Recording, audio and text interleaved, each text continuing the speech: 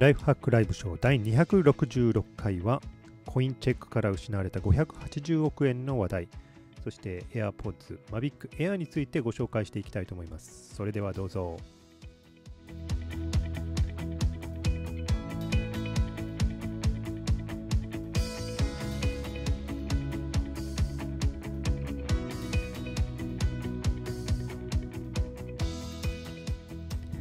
ライハックライブショー第266回。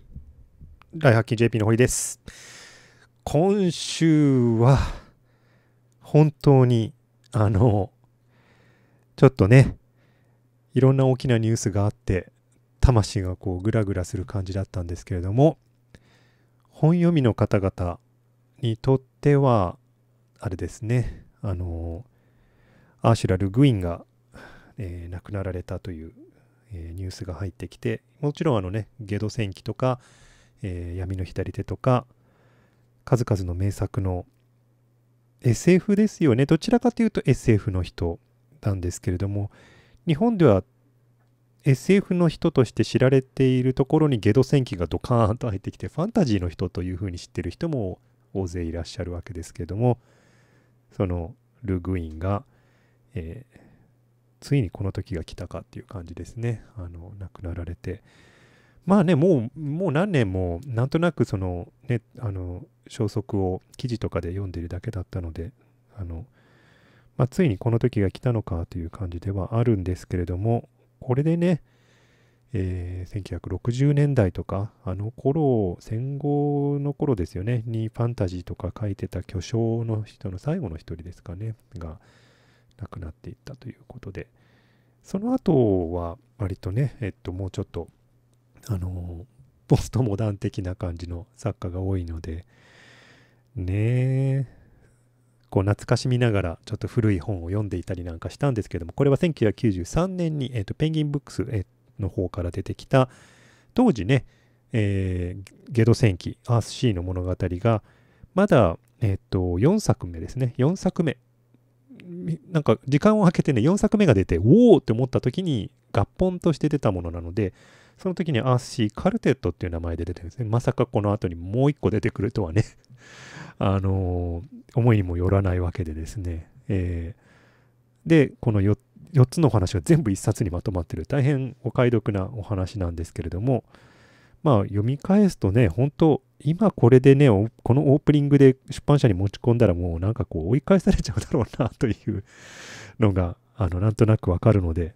ね、あの良き時代の良きファンタジーだなという気がします。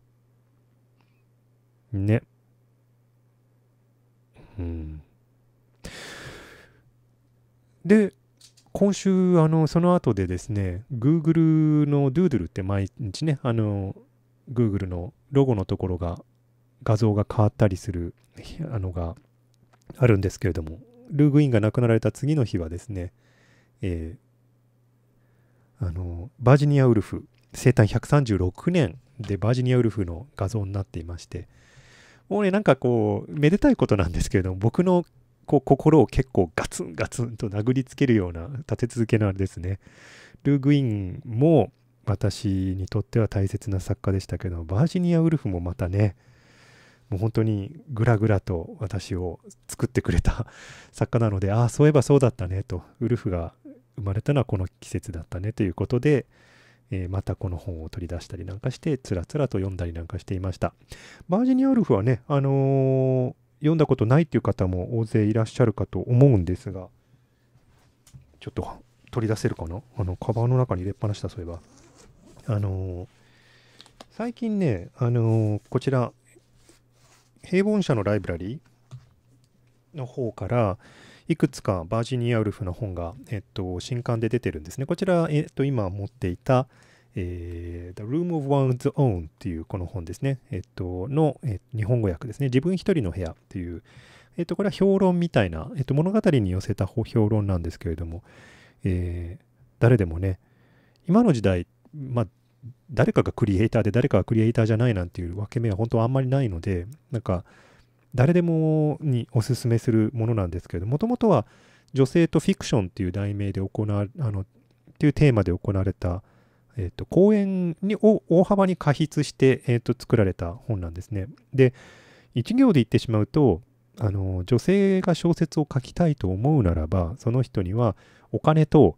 そして自分一人になれる部屋が必要だっていう、そういうテーマにおいて書かれてるんですね。で、それはどういうことなのっていうと、当時、ね、130年も前に生まれた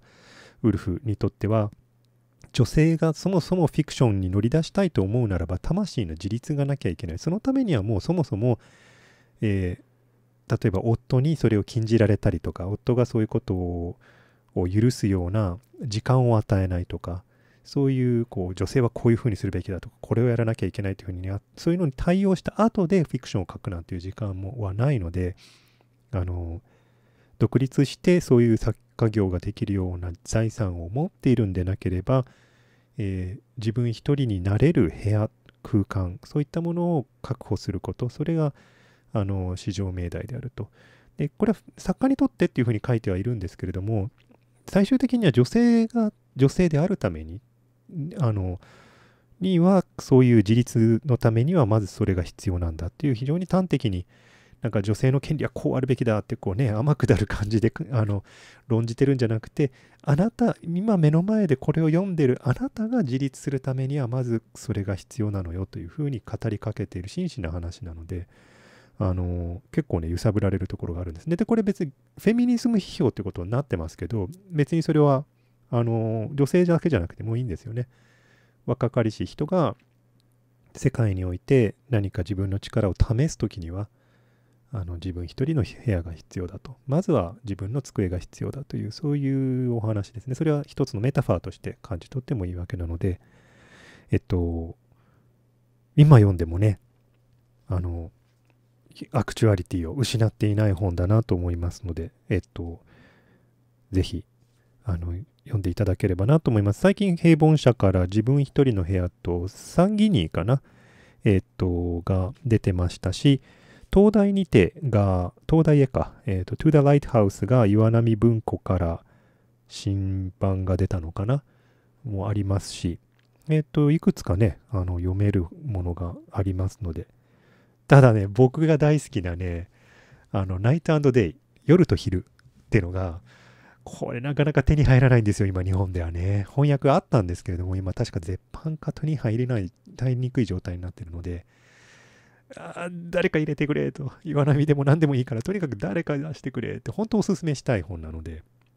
こちらは、あの、なんだろう、大詩人の娘さんと、あの、そこら辺の紳士との恋愛劇なんですけど、その恋愛劇の中にもう2人カップルがいて、もともとそのカップルが、あの、別々の相手と付き合うような感じで、あの、結婚を意識してっていうところから、物語が変化していくそこにこうちょっと独立寄付のある女性のジャーナリストが入っていてっていうこので結局その伝統的な結婚とすごくその女性の権利とか立場が変わりつつある時代の中におけるこの本人たちの意識と社会の要請みたいなもののすごい緊張感のある お話があるのでなんかねあの結構ワクワクするんですよ。あのウルフにしてはね割と素直に書かれたロマンス小説だと思いますしで最後のこのね、ジョ,ジャーナリストの人がくせ者なんですよね これがね、あの、今読んでも面白いくせ者のロマンス小説なので、うん、どっかでね、翻訳出てくれないかなと思うんですけれども、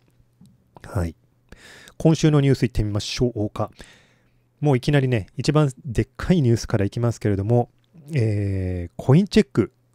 あれですね、えー、仮想通貨の取引所として日本で一番大手のところは例えばビットフライヤーとかコインチェックがあるんですけどもその取引所のうちの一つコインチェックにおいて、えー、仮想通貨の一種類である NEM, NEM ですね。NEM が大量に行き先のわからないこの取引所の外に大量に送金されたという事件が起きて取引所自体が全ての出入金取引を停止するというその大騒ぎになっています。えー、出たね、送金された金額にして、えー、500億円近く、ん ?5 億2300万 XEM。XEM っていうのはこのネムの単位なんですけれども、で、580億円相当。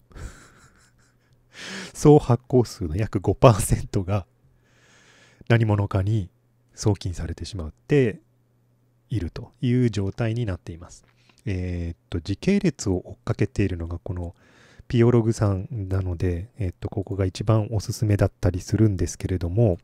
えー、コインチェックで発生した暗号通貨ネムの不正送金事案についてまとめてみた。これも非常に詳細になっていまして、えー、1月26日2時57分頃、外部流出が発生。半日も経ってからコインチェックが異常を検知。そして、えー、そこから出金、売買、一時停止発表、そしてそこから金融庁への報告、警視庁への被害相談、そして記者会見が夜23時に行われるまでもう怒涛の勢いですよね。で、これ、まあ何があったのかというのはまだよく分かっていなくて、記者会見の中でも、えー、おそらくハッキングによる、まあ要するに外部からの侵入によって送金されたのではないかと推測されるが、内部犯行も含めてまだ原因を調査中だというふうには一応なっています。えこれ仮想通貨っていうのでいろいろ混乱しそうなんですけれども、ビットコインではありません。イーサリウムでもありません。また別の種類のやつですね。ネムっていうまた新しいあの別の種類のえー、技術で、でも結局同じブロックチェーン上の技術で、えー、とちょっとまたビットコインやイーサレムとはちょっと性格が違うタイプの仮想通貨なんですけれども、えー、そしそれもまた一つね、取引所としては、あのビットコイン以外のものとして取引の対象になっていたわけですが、驚いたのは、この記者会見の中で、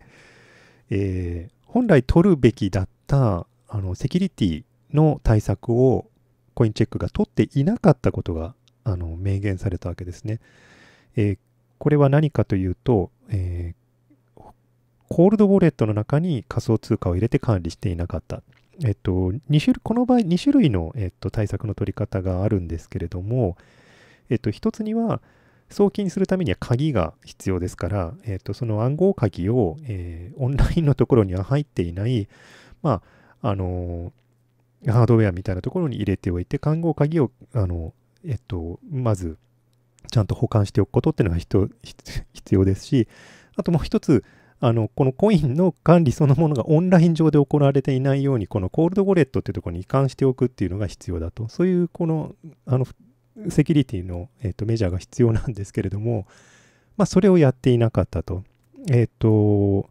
ネムに関してはマルチシグとコールドウォレットコアができるんだけどもやっていなかったということで、えー、まあ、やっていればほとんどのこの今回の事象は起きなかったでしょうというふうにこのネム財団ですね、この仮想通貨を、えー、開発及びそれの管理をしている財団の方の、えー、YouTube での声明でもそのように言われていました。ここから話が面白くなってくるんですけど、仮想通貨なので、ブロックチェーン上で台帳が全部見えていますから、すべての送金なんかは全部台帳上で見えますから、えー、コインチェックのウォレットから犯人のウォレットに送金されたところまでも、ま、確認できるんですよね。で、犯人のウォレットが何、どこであるかも分かります。犯人が何者かは分かりませんよ。でも、犯人のウォレットはブロックチェーン上で見えてるわけですね。なので、有志の人がそれに対して、えー、西梨凛さんですね、えー、が、えー、財布に対して、えー、マーキングを行うということを、あのー、行い始めました。これをやっとけば、この財布の中に入っているネムから送金されているものは、えー、違法にこの盗まれたものという可能性が高いので、ここと取引するなよと、この財布と取引するなよというふうに言うことができます。結構誤解があるのが、この通貨そのものにタグをつけたわけじゃないんですね。この通貨そのものにタグをつけることはできないので、えー、ウォレットそのものに、えー、タグをつけて、こいつとは取引するなよっていうふうにやっていると。で、えー、今世界中の人たちが、この盗まれた先のこのウォレットから、えー、移送されるのかと、どうなるのかということで、えー、今、監視しているという状態ですね。これブロックチェーンだからできることですよね。あの、普通の札束とかだったらね、せいぜいできることは札束のこの番号があの分かっているならばそれが使用された時に警報が鳴るようにしておくとかそれぐらいのことはできますけどでも今どこに現金があるかは追跡不能ですよねなのでブロックチェーンだからできることではあります。ただね犯人としてはおそらく返すねこともないだろうからこのままほっとくんでしょうね。あるいは換金しようと頑張るかもしれませんよね。こういういくらねいろんな取引所にこれこのウォレットと取引するなって言ったとしても、えー、そういうのを知らねえよっていう取引所も中にはあるかもしれませんしそういうねあのお金をロンダリングする目的の取引所も世の中にあるかもしれませんし国をまたいでしまえばわからないというのもありますしあるいはこれを持っているだけでこの市場に対して影響力を持つことができますのでそういうあの市場の操作が目的だったっていうそういう、えー、指摘もあったりして以前何者なのかとなんでこんなことになったのかということも含めてまだ謎の状態です。でそんな中どうなるんだと、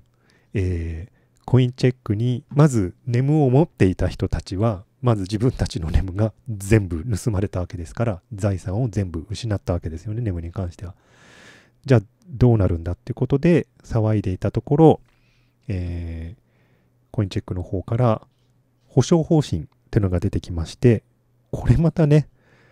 いろいろ突っ込みどころが多いんですけれども不正に送金された仮想通貨ネームの保有者に対してえー、発覚してから出来高の過重平均を用いた価格を算出して、そして、えー、日本円で返金いたしますと。すごい。売買停止、1月26日、12月09分から1月27日、23時までの間の過重平均で保証金額、保有数かけることの8万8549円をお支払いいたしますと。えー、つまり、強制的に利益確定されてしまったということなんですね。もともと、えー、成長を見越してネムを買っていた人たちにとっては、強制的に日本円に戻されてしまったと。しかも、えー、その時のレートに比べたら安く、えー、と戻ってしまっているので、丸損なわけですよね。ついでに、えー、日本円に戻ってきて、例えば利益のある人に関してはそれで税金がかかってしてきますので、えー、ひどい状況になってます。これね、いろいろまだ、あの、憶測があの飛び回っているところで、えこれ利益確定したんじゃなくて、これはあの日本円で損害賠償という形で入ってきたんだから税金にならないんじゃないのかとか、えー、どういう扱いなんだこのお金はといったように、でももともとね、資本を出し、保有数に対して支払われてるんだから、資産が戻ってきたというふうに思うんだったら、ね、資産が増えてるんだったら、それは税金の対象でしょうとか、とにかく前例のない話で大盛り上がりになっています。もう本当に慎重じゃない金額を持っていた方にとっては本当に笑い事ではない大きな問題になってるわけですね。それ、あともう一つ、これ、まだ問題なのは、保証時期と手続きの方法に関してはまだ未定、検討中という話です。で、えー、それ以外の取引も全て今コインチェックは停止していますので、えー、っと、本当に再開できるのですかというところで今、割とドキドキする話になっています。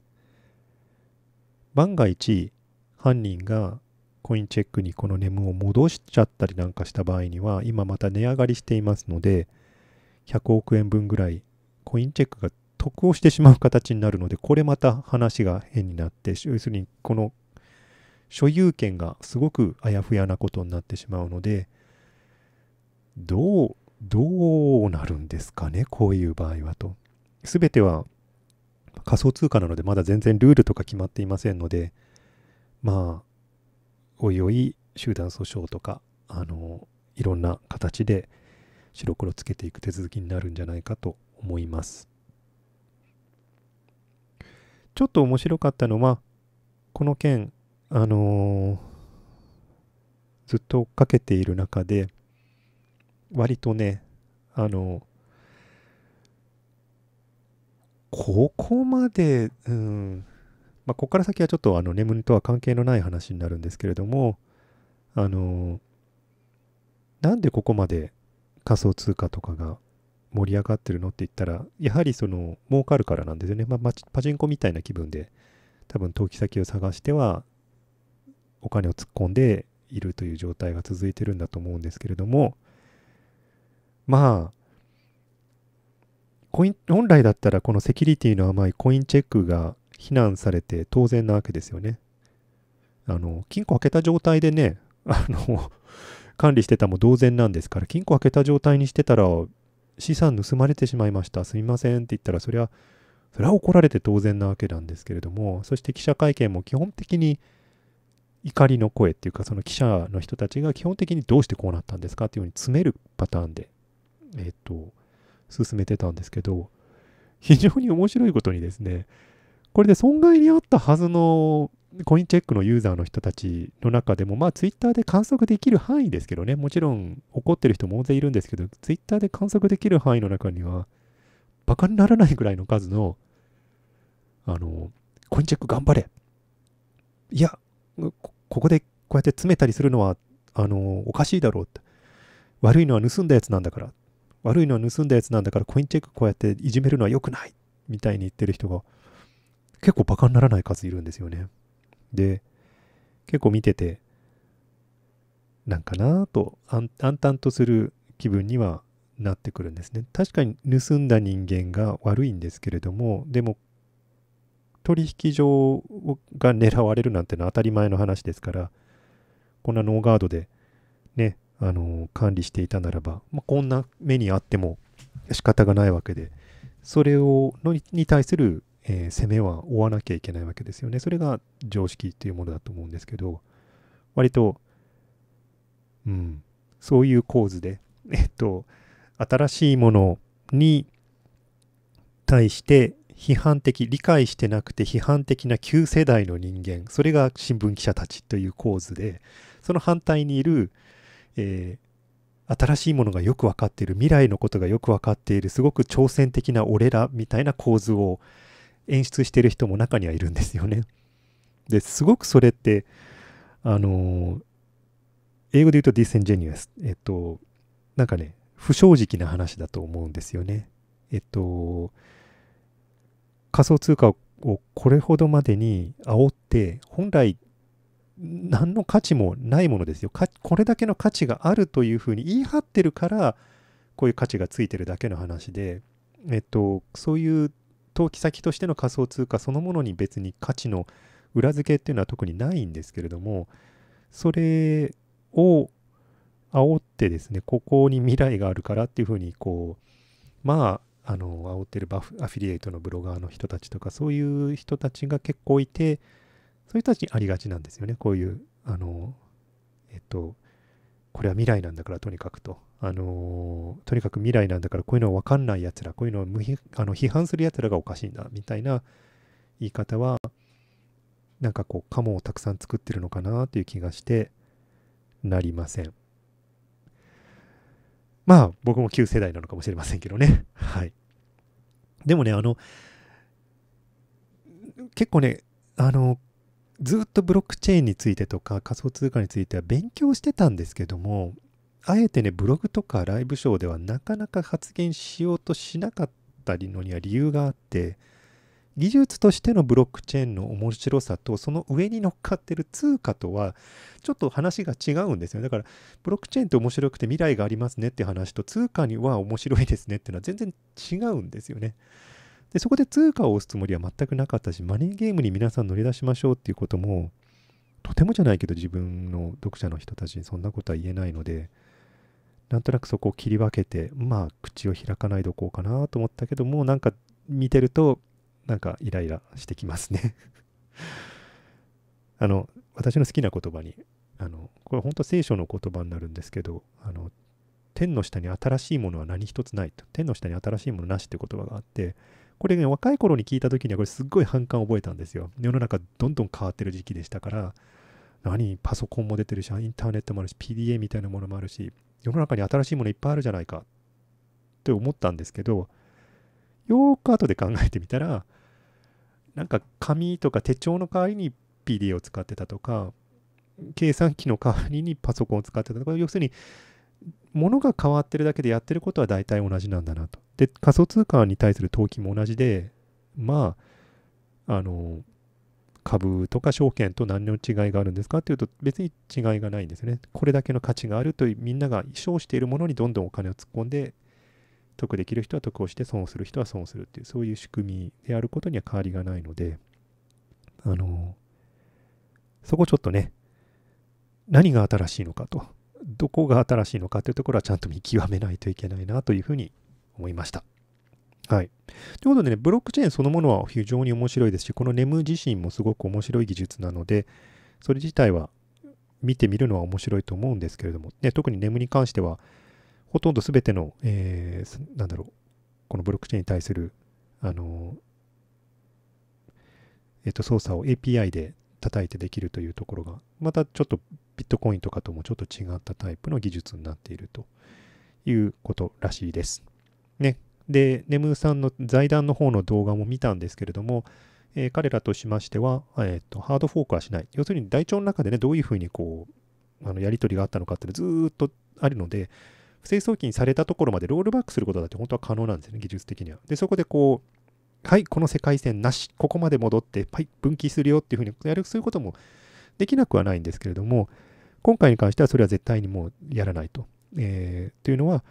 ネムそれ自体の問題ではなかったからだと。ネム自体は技術的に策定された通りにしっかり動いていて何の問題もなかったと。これは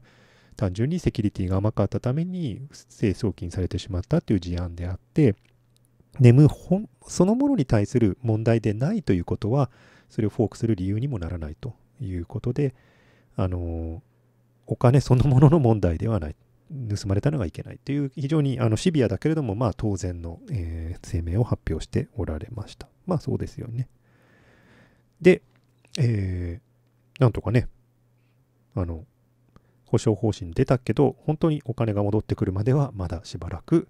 多分大騒ぎするんじゃないかなというところです。来週もちょっと見逃せませんね。えーと、それ以外のところだとね、あの、いくつかニュース出てるんですけれども、えアアップルのホームポッドが 予約できるようになりました。ただし日本ではできないという、そういうニュースが入ってきています。えー、349ドルのホームポッドスピーカー。まあ、新打ちというか、本当に新打ちなのかな。えー、スマートスピーカーの中では一番最後に出てきたアップルのホームポッドが、えー、ついに予約可能になって、US、カナダ、?US、UK、オーストラリアか。カナダダメなのか。うん。で、今予約可能。この後フランスとドイツが行けるけど、カナダないんだね。へえ。で、しかも、あの、複数台買ってステレオにするとか あの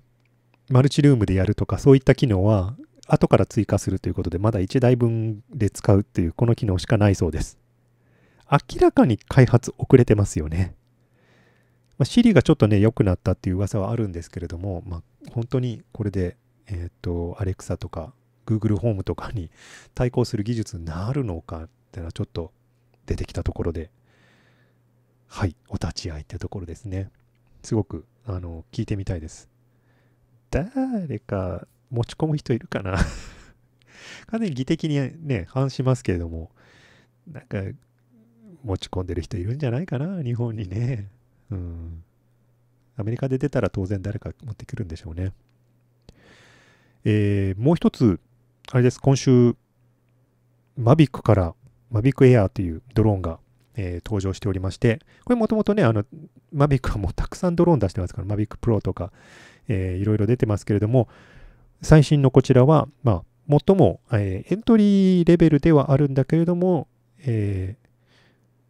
それでもね、画像は非常にクオリティの高い Mavic Pro とかにも匹敵するような、えー、画像が撮れるということで、サイズはもう本当に手のひらよりちょっとより大きい iPhone8 Plus よりもちょっと大きいぐらいの、えー、大きさで、え 4K の動画を、えー、空から撮ることができるという、そういう、えー、機種になってます。これね、初めてね、あの、ここまで、あの、ちょっと自分の、えー、なんだろう、手の届く範囲をちょっと超えていたんですけれども、あの、これで何万円でしたっけ ?799 ドルでしたっけ？あの、なんだかね、届きそうな塩梅になってきたかなというのがあって、すごく今、これ、ちょっとね気になるなぁどうする？ねえ。いや、飛ばせるところはそんなにはないんですけれども、意外に私有地とか、ここで取って大丈夫ですかと言って許可を取れるような場所っていうのもなくはないので、そういうところで使用することも可能ですし、もちろんそして僕今三浦半島にいるんですけど、三浦半島の反対側の、えー、とところは人口密集地から外れるところもちらほら出てきますので、あるいはね、岬のあの一番最南端のあたりとか外れますので、そういうところから取ることも可能なのかなという。えー、早速 YouTuber の皆様がたくさん、あのね、レビューの動画上げてますけれども、大体みんなね、サンフランシスコの連中とかもみんなね、海岸線ばっかり撮ってますよね。だからそこら辺しかあの許可もらってないからなんですけれども、えー、っと、YouTube、Vlogger のケイシーかな、ケイシーだけ？はバミューダ島まで行って 撮影していましたけれども、まあ、そんな感じですよね。なので、もうちょっとリサーチしてみて、本当にどういうところで撮れるのか、あのそういうのをちょっとあもう少し洗い出してから検討してみたいな。なんかね、ようやくそういう映像が撮れるんだったらば、例えば本当10秒とか20秒であったとしても、そういうカットは撮ってみたいという欲望がムラムラと出てきています。ね。明日私、新潟行くんですけど、新潟ちょっとね、ちなみにあの、ちょっと行く行き先のところ地図で調べてみたらね、あ思い思いっきりこの阿賀野川の上飛ばせるじゃんとかこう思っててですね。うん。うん。まあ、検討するには値するんじゃないかなという。そういう思いで今見ております。まあね、あの、あんまり勇気のあるタイプではないので、最初に出てきた時には飛び込めないんですけれども、えー、こういうのだんだんこなれてきた頃になると触手が動くタイプだったりします。799ドルですか。はは。はは。コメントの中で大常さんが観音崎公園は市じゃなくて県の管轄なのでドローン飛行可能でございますというコメントが入ってきてて。はい、調べました。調べましたよ。観音崎公園はね、あの、浦賀水道を面して大変美しいあの景観も撮れますしね。観音崎だけ撮ってるわけにもいかないから、もうちょっと調べようよという気分ではいますが。はい。でもね、あの、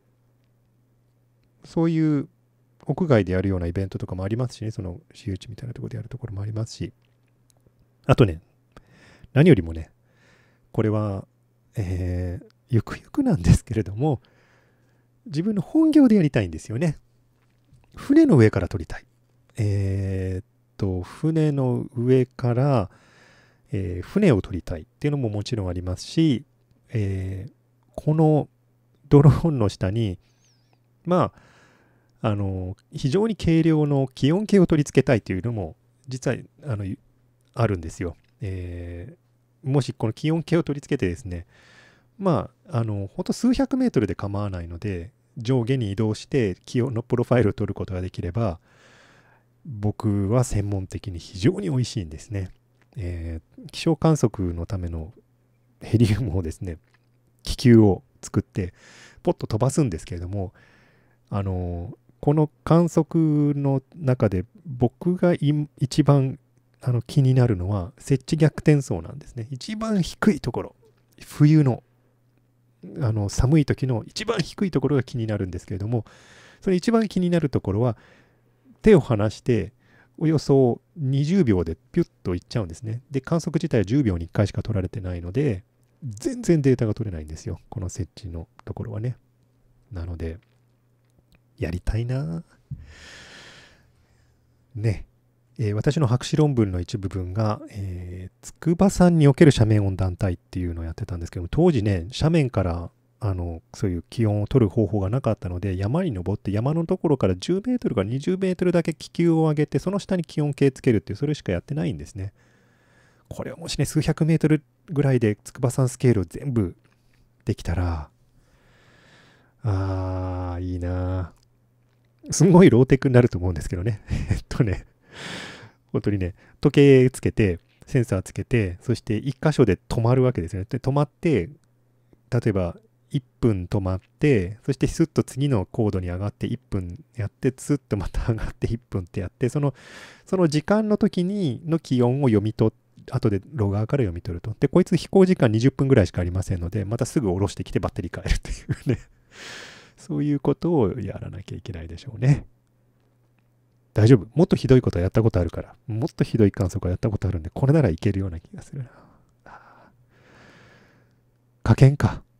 加減出すか、これで。来年。ちょっと個人的に買ってて試してみて いけそうなら加減出しますか。で、ぜひ、あの、日本じゃないんだよね。ロシアのね、あの、コールドドームの真ん中で飛ばしたいね。一番寒いところのね、あそこの構造どうなってるんだって、正直誰も知らないですからね、あんまり知られてないですからね。自由大気との相互作用どうなってるんだとかも、だんだん僕、本当あの、専門領域に入ってきますけど、やってみたいですね。えっと、もう一つ本当に、えっと、専門、専門の分野でやれることがあるとしたら、えっと、北極に持っていくとすると、あの、実は船が入れるところまででギリギリで止まって、そしてそこから氷の上に飛ばしていくっていう、そういうのはあります。で、このマビックエアじゃとてもじゃないけど無理なんですけれども、もうちょっと巨大なドローンだったら、えっと、数キロぐらい、その、あの、氷の上まで飛ばして、海のところから氷までの大気をこう、入念に調べるという、そういう操作にも使えます。アメリカではね、さすがに、あの、そういうことやってる人大勢いるんですけど、日本ではまだまだそんなのはいないのでね、飛行時のダウンウォッシュがあるから風による冷却誤差があるんじゃないですかってコメントで大常さんが聞かれてますけど、その方がありがたいと言ったらありがたいですね。えっと、多分こいつそれほどの熱は生み出しませんので、えっと、空気をぶつけた方が、えっと、正確に測れるかなという気がします。えっと、これ笑い話なんですけれども、気温を正確に測りたいと思った時に、寒い日に気温計をこうやって持っていてですね、えっと、測るときに寒いっていうことで、えっと、風に対して背を向けているとうまく取れないんですよね。えっと、なんでかというと風に向けて背を向けると自分の体温が、えー、この手に持ってるこの気温計に向かっちゃうんですね。だこう風に背を向けて気温を測ってるときと風に向かって鼻水を流しながらこうやって測ってるときには優位な系統誤差があります。なので、この辺りも多分、どこに貼り付けるかっていうのは多分、あの、えー、2回、2種類ぐらい多分飛ばしてみて、系統的にどっちの方がこうなってるっていうふうなことが分かれば、まあデータから取り除いて、誤差として扱うことは可能なんじゃないかなと思います。専門領域について喋りすぎだな どれだけね、あの、ちょっと頭の中で考えてるかっていうのが全部漏れてるわけなんですけれども、はい。うん。ああなんかそろそろやれるような気がしてきた。八ヶ岳で観測してる奴らにちょっとこう声かけてやってみたいなとかね。モンゴルでやってる奴らに声かけてちょっとやってみたいなとか、あわよくばちょっとモンゴル行ってみたいですねとかね、ちょうどこう、明日からちょっと研究会なので、ちょっとそこら辺の人にこうちょちょっと、ちょっとアイディアを入れておこうかなと思います。はい。ね。うん僕の専門じゃないんですけどね。うん、境界像はね。でも、はい。できるといいなと思います。最後のニュースなんですけれども、ニューヨーク・タイムズがですね、時々こういうのやるんですけれども、あのー、ものすごい力を入れた特集を、えー、組んでいまして、えー、フォロワーファクトリーという名前のすごい長文の記事を出しています。しかもこのページ、インタラクティブになっていましてですね、こうスクロールすると、まず、この画像が変わっていく。で、途中のグラフとか、そういったものも全部、えー、インタラクティブになっているという非常に作り込まれたさすがだなという長文記事になっています。本当に長く読ませるためにこれだけの仕掛けも入ってるんですけれども、途中で iPhone が出てきたかと思うと、そこでパララックスで、えー、説明文が入ってみたりとか、そういう非常によく作り込まれたページなんですけれども、何の話をしてるかというと、えー、とあるドゥバーニーという会社が、あのフェイクなフォロワーを売り払っていると、あのツイッター上で。まあ割とね、知られ、我々は知ってはいるけれども、あの、デビューミーか、デビューミーっていう名前の会社が何十万というフォロワーをセレブリティとか政治家に向けて販売しているっていう様子の詳細なデータが手に入ったという、そういう記事になっています。まあ人によってはね、20万人とか30万人といったフォロワーを購入しているんですけれども、それもデータから見ると明らかになると。で、どういうね、アカウントを作ってるかというと、ネット上にいる普通の人の、えー、写真を勝手に撮ってきて、そしてそれが同じ人間だとわからないように画像に処理を加えて、ちょっと、ね、輝度を上げたりとか色を変えてみたりして、あの、検知を免れて、で、プロフィールとかも勝手に撮ってきたものをコピーして、まあこれも全部自動化しているので何十万というプロフィールが勝手に盗まれて、で、使われていると。で、その販売した先ではどうなってるかというと、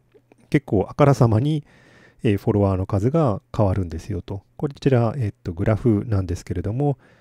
えー、この人物がいつフォローされたのかというグラフを見てみるところ、ある時点で急に、まあ、同時に、まあ、ね、1万ぐらいのアカウントがほぼ同時に作成されて、同時にこの人物をフォローするという様子が見えるわけですね。奇妙な話ですよね。同じ日の同じ、ほぼ同じ時間に登録された全てのアカウントが同じ人物をフォローし始めるっていうのは、これまた奇妙な話ですね。ということで、まあおそらくフォロワーを偽装する工場があって、それがこういうのをやってるんでしょうと。で、まあ昔だとね、あのー、お互いフォローして、ってほしい人同士が登録する先が結構あったりなんかして、えー、そういうサービスは今もあるんですよね。えっと、フォロワーを増やしたいか方が、えっと、登録をすると。そうすると、そのフォロワーを増やしたい方が、えっと、そのデータベースの中に登録されて、他のフォロワーを増やしたい人同士が相互フォローし始めるんですね。で、えーと、自分もフォロワー増えるけれども、えーと、相手もフォローが増えるってことで、まあ、無作為にどんどん増やしていくと。1日何人増やしたいかってことで何ドル払うっていう、そういうサービスはあったりするんですけれども、これ、あくまで総合フォローの方のサービスなんですね。まあ、見てればわかります。えっと、急にあの人、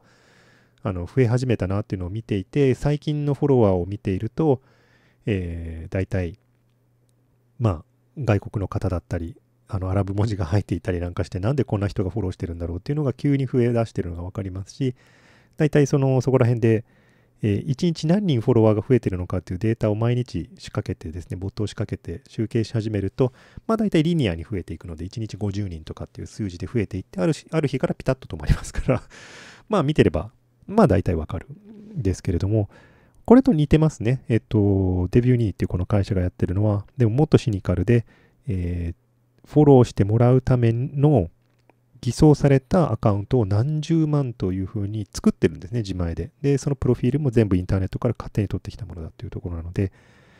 まあ、ツイッターとしてはこれ対策するつもりがあるのかというところを取材したところ、まあ、おそらく問題になりすぎない程度にはやってるんだけど、おそらくこれもまたビジネス、つまり人がフォローしてほしい。というエコノミー、フォロワーエコノミーみたいなものになってるので、ツイッターとしてはこれを完全に排除するという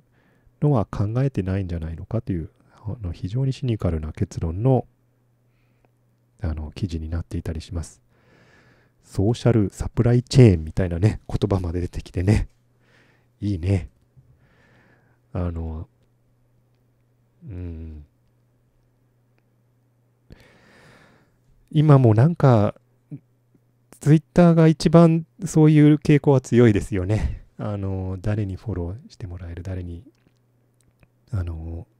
どれだけフォロワー数がいるのかっていうのは結構こう死活問題みたいにして、あの、活動されておられる方もいますからね。うん。最初からやっている人間なので、もうあんまりそこら辺考えなくなってしまったんですけれども、本を出して以来、毎日10人ぐらいの勢いで増えていくので、あ、あもうちょっとちゃんと どういう人物なのかつぶやいた方がいいかなというふうには時々思ったりします。このアカウントは決して、えー、知的生産とかライフハックについてだけつぶやいてるわけではなくて、たまに北極行って変なことつぶやいてもいるし、たまにアニメとかの実況で熱狂したりすることもあるし、あの、思ってたのとちょっと違うかもしれませんよ というのは、どっかでやっといた方がいいのかなと思いつつも、はい、忙しくてそんなことしていない状態だったりします。いつまで続くんでしょうね、このツイッターの、あの、ボット争いみたいなのは。実際、えー、先ほどお話ししたあのコインチェックですよね。コインチェックの、えーと話題をまあ、ツイッターのタイムラインからも追うために検索をかけてるんですけども、本当にノイズだらけで、えーと、自分のブログとか自分のまとめサイトに、えーと、アクセスしてほしいので、同じタイトルと、えー、大体あの存在しない女の子の名前の、えー、のアカウントが例えば50個ぐらいあって、同じ記事をずっとつぶやきまくってるんですよね。それはもう全部ボットで、えーと自分のまとめサイトに誘導するために作られてるボットなんですけれども、そういうのがね、この1個の話題だけでも数百個あるので、もう全ての話題を集めると何千何万というボットがもう常にそういうスパムを垂れ流している状態ですから、まあ、普段から言う通り、えー、人類の終わりはボット対ボットの多分戦いで終わるんじゃないかなと。人間が終わった後もずっとボットがこう、お互いを相手に多分リプライとかリツイートとかしている状態になるんじゃないかなという気がします。はい。ということで、ちょっと、今週ちょっとね、一人語りが長かったんですけれども、そんな気分なんですよ。なんかね、あの、うん、仮想通貨のブロガーとか見ててもなんかこうなんでいいのかなというふうに思ったり、だからといってね、あの、大声で何か非難したり、糾弾するわけでもないんですけども、なんとなくそういうちょっと、あの、しんみりとした気分になっている、えー、1週間でした。来週は、えーと、予定通り行う予定なんですけれども、明日からちょっと新潟の方に出張行っていますので、そのあたりの土産話もまた、えーと、できればなと思います、えー、今週はこれまでにしたいと思います。ライフハックライブショー、毎週日曜日夜10時からこのような形で生放送しておりますけれども、この後、えーと編集版が上がってきて、音声版がポッドビーンズの方にも上がってきて、えー、アーカイブで見ることもできますので、生放送を見逃したという方はそちらの方もご視聴ください。それではまた来週、えー、ライフハック以外の話題も含めていろんな話題で、えーと続けたいと思いますので、またご覧ください。それではまた。